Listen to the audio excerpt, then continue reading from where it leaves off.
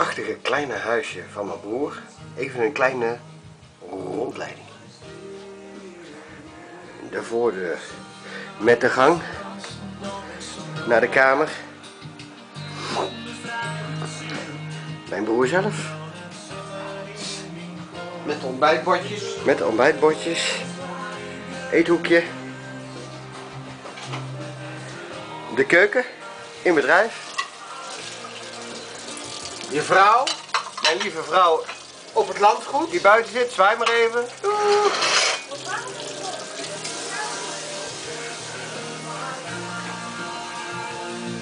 Om dan vervolgens, we zullen de douchetoilet even overslaan, de trap naar boven te nemen. Om even te laten zien waar wij geslaapt hebben. En dan is dit het plekje geweest waar wij heerlijk met z'n tweetjes een weekendje geslapen hebben.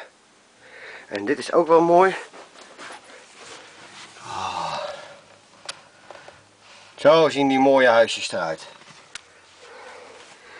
Oké.